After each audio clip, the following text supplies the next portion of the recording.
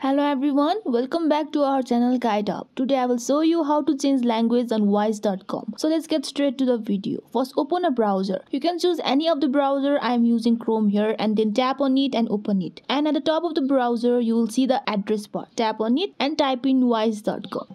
Here you will see the homepage of the Wise. If you have a login to your account, first go and log in your account and then tap on your profile at the top right corner.